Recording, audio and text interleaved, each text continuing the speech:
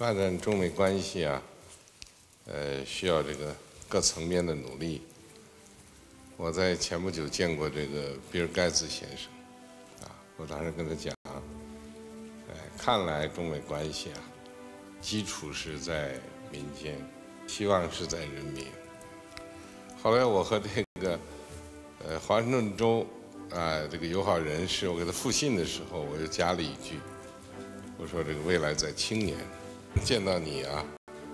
我说第四句，就是活力在地方，我们可以在各个方面，啊，都努力去推动啊中美关系的发展，营造中美关系呃的一个好的氛围。